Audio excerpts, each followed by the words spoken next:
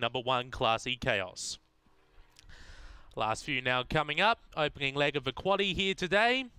There's the light set to run race number five out of Gawler.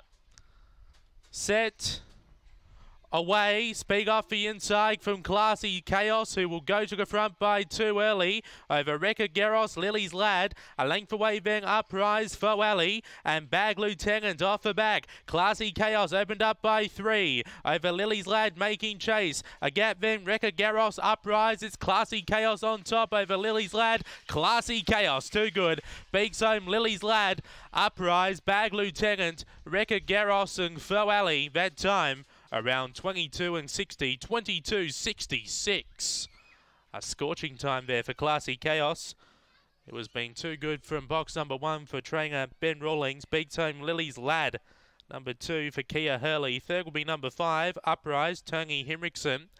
And fourth, number seven, Bag Lieutenant, Kel Douglas. 22.66. That rung home in 14.11. 14.11. A good time produced there by number one, Classy Chaos, who continues its winning streak here today. One, two, five, seven are the numbers after race number five here at Gawler.